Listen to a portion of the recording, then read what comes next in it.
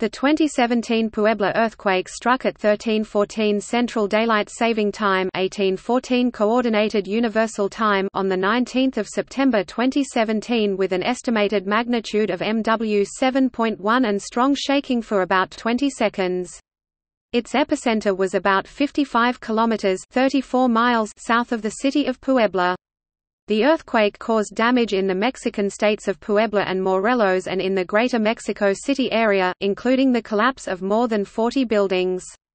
370 people were killed by the earthquake and related building collapses, including 228 in Mexico City, and more than 6,000 were injured. The quake coincidentally occurred on the 32nd anniversary of the 1985 Mexico City earthquake, which killed around 10,000 people.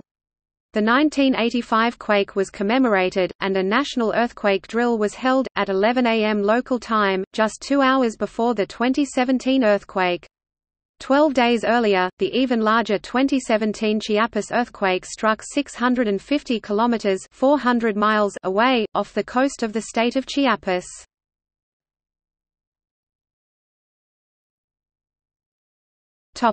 Background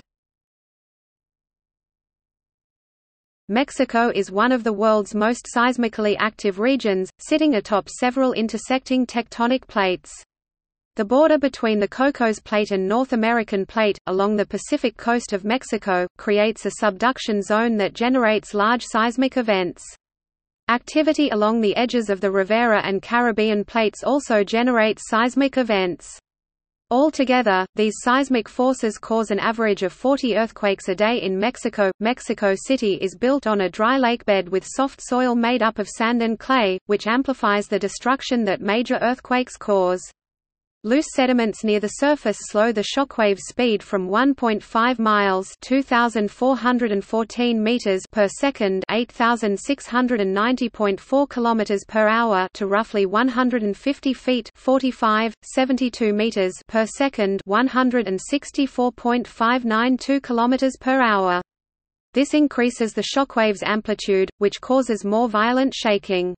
Deeper and denser soil layers increase amplified shockwaves' destructive duration. Less than two weeks before the Puebla earthquake, Mexico had been struck by an earthquake in Chiapas on 7 September, which killed almost 100 people.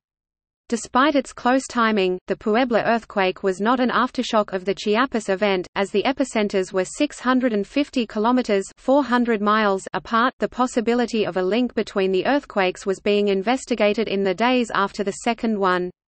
Big earthquakes can increase the long-term risk of seismic activity by transferring static stress to adjacent faults, but only at a distance of up to four times the length of the original rupture. In the 19th of September earthquake, static stress transfer was considered unlikely due to the distance between the earthquakes, in excess of the expected 400 km maximum. Dynamic triggering with seismic waves propagating from one quake affecting other faults, may operate at much longer distances, but usually happens within hours or a few days of the triggering quake. A 12 day gap is hard to explain. 19 September is designated as a day of remembrance for the 1985 Mexico City earthquake, which killed approximately 10,000 civilians. Every year at 11 am, a national earthquake drill is conducted by the government through the use of public loudspeakers located throughout Mexico City. The 2017 drill took place as scheduled, at 11 am, around two hours before the central Mexico earthquake.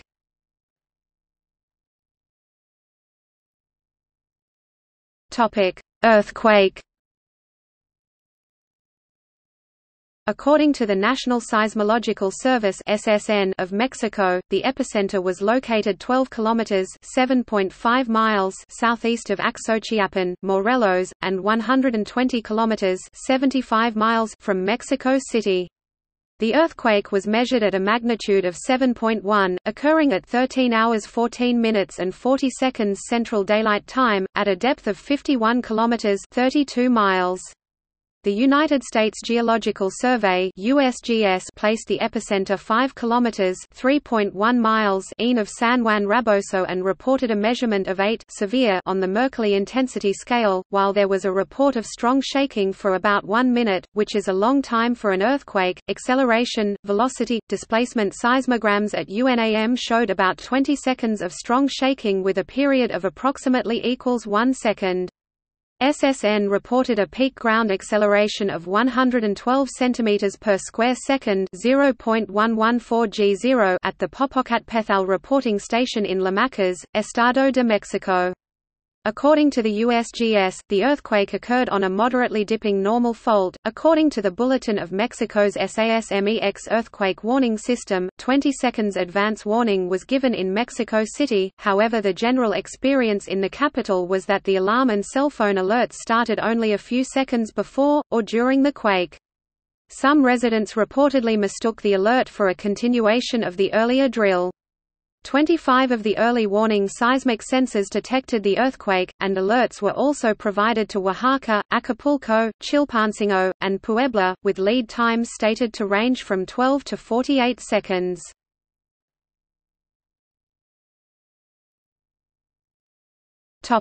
Casualties Nine days after the earthquake, at least 361 people had been reported killed. At least 74 people were killed in the state of Morelos, 220 in Mexico City, 45 in Puebla, 13 in the state of Mexico, 6 in the state of Guerrero and 1 in the state of Oaxaca. In Mexico City, the bodies of 26 students and four instructors were pulled from the rubble of the Enrique C. Rebsamen School. 30 students and eight adults were still unaccounted for as of the evening of 19 September. The Mexico City campus of the Monterrey Institute of Technology and Higher Education suffered damage, with at least five people killed and 40 injured. More than 6,000 people had been reported injured by the day after the earthquake, with more than 300 confirmed dead as Mexico earthquake rescue efforts continue. On 1 October the number of people known to have been killed was stated to be 361, with more than 4,500 injured. By place, 220 were killed in Mexico City, 74 in the state of Morelos, 45 in Puebla, 15 in Mexico State, 6 in Guerrero, and 1 in Oaxaca. An investigation published in October 2017 revealed that since 2012 there had been over 6,000 complaints about construction violations in Mexico City, with no public record of how many were followed up. Many of the buildings complained about collapsed in the 19 September earthquake. After the earthquake the Urban Development and Housing Secretariat did not respond to requests for information on responses to complaints. Local activists called the construction system totally corrupt, and said that some developers circumvent building regulations, and city authorities frequently ignore complaints. The casualties included eight foreigners, including four Taiwanese women, a Korean man, a Spanish man, a Panamanian woman, and an Argentine man.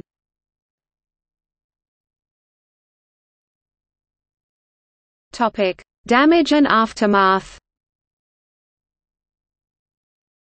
In Puebla, church steeples had toppled in the city of Cholula, and a church on the slopes of Popocatépetl in Atzitzahuacan collapsed during Mass, killing 15 people. A second church, which was built in the 17th century, fell in Atzala during a baptism, killing 11 people including the baby. At least 44 buildings collapsed in Mexico City due to the earthquake, trapping people inside, creating large plumes of dust, and starting fires. At least 50 to 60 people were rescued by emergency workers and citizens. Several buildings caught fire. Condesa, Roma and Del Valle neighborhoods were among those most affected in the zone a building located on Alvaro Obregon Avenue collapsed, and several buildings on Amsterdam Avenue suffered damage. Gas leaks were reported, along with piles of rubble from collapsed buildings. Stock prices declined at the Mexico Stock Exchange but recovered before trading was suspended. Comisión Federal de Electricidad, the national electric utility, reported that 4.78 million customers lost power in Guerrero, Morelos, Puebla, State of Mexico, Oaxaca, Tlaxcala, and parts of Mexico City—roughly 35% of the company's customers in those states. However, none of the generating stations in the region sustained structural damage. Mexico City International Airport suspended operations while damage assessments took place, but reopened at 4 p.m. CDT 2100 UTC. 180 flights were cancelled or diverted during the closure. A plane carrying President Enrique Peña Nieto, returning from touring damage in Oaxaca from the earlier Chiapas earthquake, was diverted to Santa Lucia Air Force Base. Mexico City Metro service was temporarily cancelled on several subway lines due to a power failure, but restored by 1730, offering free service to stranded passengers. Building evacuations also caused delays to Metrobus service in the city. The Federal Secretariat of the Interior (SEGOB) declared a state of emergency for all 33 municipalities of Morelos, for all 16 boroughs of Mexico City, and 112 of the 217 municipalities of Puebla. The declarations allow funds from the National Natural Disaster Fund to be used during the emergency response phase. The Mexican Army and Mexican Navy deployed 3,000 active duty troops to Mexico City through the DNIIIE and Plan Marina emergency response plans. The troops were tasked with debris cleanup, search and rescue, and security missions. Additionally, the Secretariat of National Defense moved eight helicopters to Mexico City, and activated three shelters in the affected areas. A damage survey by American structural engineers revealed that a number of collapsed buildings had been erected in the 1960s and 1970s with unreinforced masonry walls confined by non ductile concrete frames. All round of 16 matches of the Copa MX, an Association Football Cup competition, were suspended until further notice. The hashtag hashtag Fuerza Mexico Be Strong, Mexico was used on social media outlets. Mexico's political parties offered to help victims in different ways, including the diverting some of the money they receive from the government for their campaigns. After months of debate and legal challenges, the donations were PRI $5,792,000, PAN $2,479,000, PVEM $524,000, Movimiento Ciudadano $2,529,000, Encuentro Social $506,000, PRD $1,239,000, and Nueva Alianza $2,081,000. Morena and PT did not specify how much they would donate. Although these amounts were not reported to the National Election Board Instituto Nacional Electoral.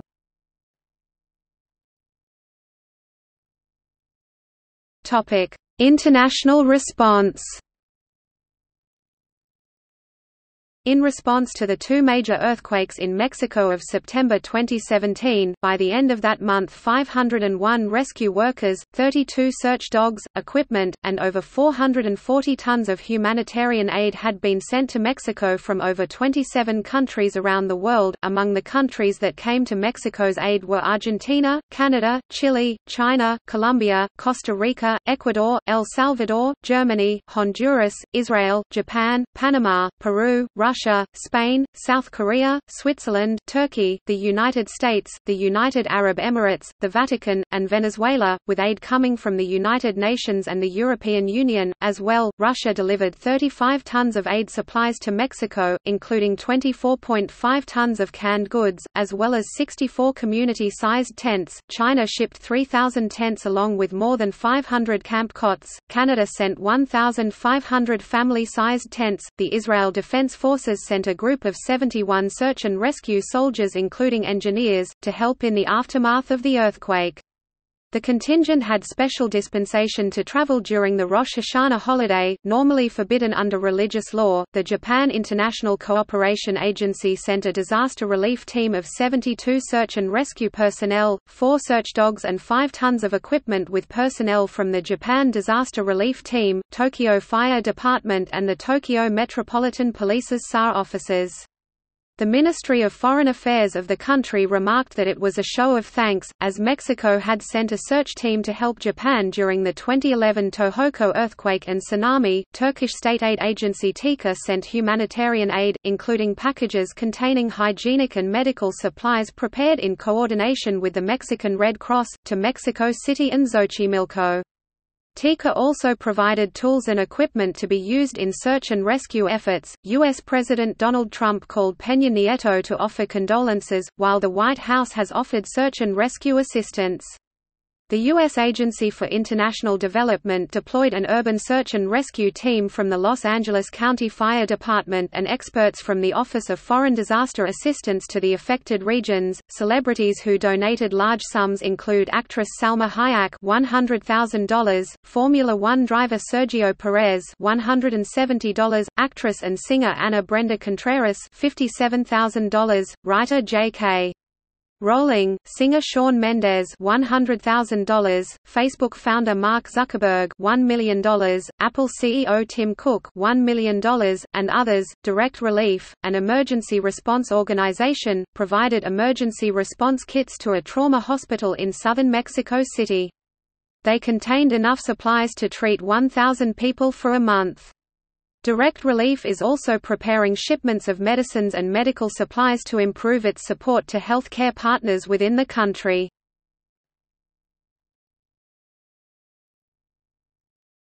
Topic: Aftershocks.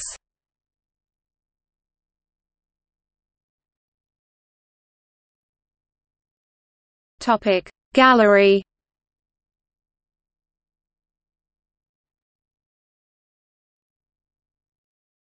Topic. See also List of earthquakes in 2017 List of earthquakes in Mexico